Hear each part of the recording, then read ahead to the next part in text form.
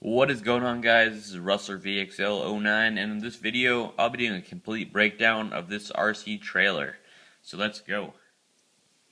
Okay, so first the basics. This is a trailer made to haul your RCs and uh, I pretty much customized it so you had the Summit tires on it, the uh, stock Summit tires, and I customized the hitch so it can hook up behind the Summit. I'll be showing you guys how to do that right now. Okay, so uh, here's the hitch that hooks onto the Summit. As you can see, there's two different plates on there with holes drilled completely through. And there's also a little clip. So uh, pretty much what you do is you hook this on pretty much where the rear bumper goes. As you can see, there's screws going through this plastic right here. And uh, take this bumper off, slide this right in, and uh, put these two screws right through these holes and uh, mounts perfectly. So all you gotta do is make one of these and you're all good.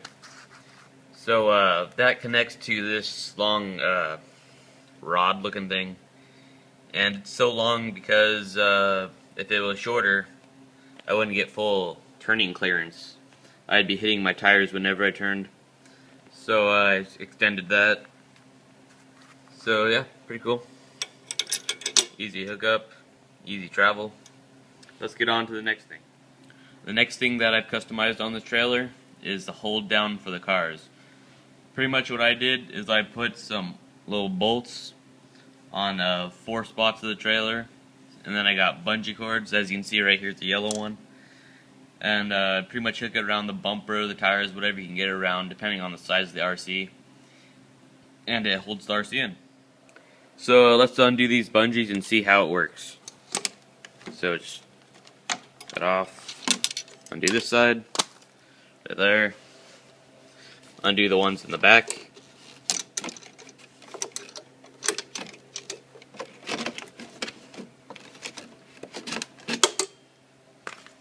The car is now free.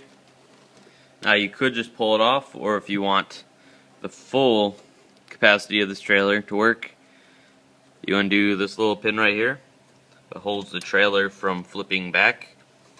And some of you guys are new, maybe like, flipping back, what do you mean? This is a tilt deck trailer. Very cool. And, uh, yeah, um, I'll show you, I'll show you guys how that works.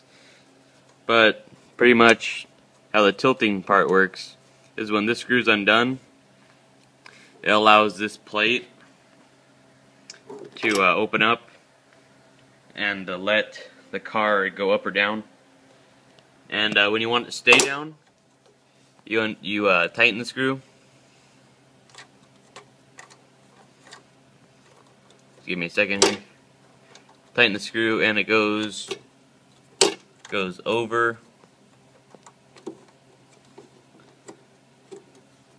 It goes over the back so that it cannot flip up and your RC won't slide off. So uh, pretty pretty good design. Also you can see these are where my mounting bolts are. Pretty good. These are plastic, uh, very hard plastic plates on there. Um, the trail itself is made of steel, very heavy, but also will not break. Aluminum, I now know, might have been a better choice, but it works pretty good. So, uh, let's get underneath it. Okay, so underneath the trailer, it looks like this. And uh, it looks like a pretty simple design. Let me take this out of the stand. Please excuse the shakiness. But, uh, you got the frame. You got the two axles, or solid axles. Um, I would have made them, uh, split axles, you know, kind of like a differential, so that it has better turning. But uh, since it's a tilt deck trailer, I'd have nowhere really hook it up, hook up the uh, diff to. So, uh, anyways, this is uh, front. Tires go through uh, the holding rods. Then they have washers welded onto them so that they don't pop in and out, going different directions. Got a support rod right here. Got a support rod going down the center. Got some frames on each side. And uh, yeah. And as you see, all this metal metal is uh, welded together. I used a MIG welder. You could probably also use arc since it's steel. But uh, yeah, as you see, these screws are coming out. Those are holding in these plastic plates. And uh, yeah, you can see the bottom of where the little tie downs are. And uh, yeah, you know, it takes a bit of planning to make this trailer. You can kind of make it however you want. Oh, but uh, I guess I'll show you how the tilt deck kind of works from underneath. So let me go ahead and unscrew it from the top.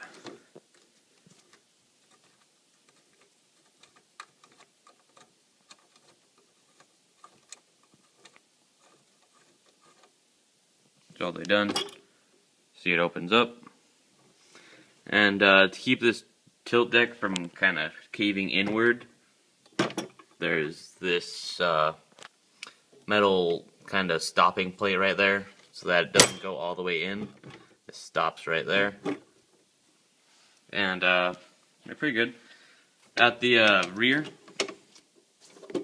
I uh, I cut this steel right here at an angle so I could lay another plate on top and have it be tilted so it works good as a tilt deck. Um, something I forgot to do, which I think might have helped, is if at uh, this part right here it's very slippery, if I would have added a little bit of sand to the paint so it got grip. But uh, it works pretty good, you know. So, uh, anyways, that's about ends the video. If you guys have any questions at all, you know, just let me know in the comments. Uh, if you haven't yet, please make sure you subscribe. I'll be doing, I'll be doing some more videos with this trailer. Uh, something I've mentioned in other videos is these tires are from the Summit, and they are extremely, uh, extremely soft, and uh, it makes it a bit harder for your Summit to pull it. I made a video with Summit or his uh, Rustler run footage or something like that. Uh, I'll leave a link to it in the description, but uh, you can watch it. I actually used this trailer for the video. Uh, worked okay. It got stuck in a few spots once again because it's so heavy. And uh, these tires really add a drag to it because they're so soft. You know, if you have flat spots everywhere you're going, it's going to be hard. I am planning on getting some uh, kind of like wagon tires to put on here instead. Uh, but uh, instead of having plastic ones on plastic tread on the outside, I'm going to try to get rubber tread so you don't hear that loud uh, plastic sound every time you go on concrete. But uh, once again, that about ends the video. So any questions at all, just leave in the comments. Uh, if you want to watch my Rustler run footage that has my Rustler riding on here, I'll leave that in the description. And if you haven't yet, please make sure you subscribe. And uh, hope you enjoy these pictures of the trailer. Rustler VXL9 is out.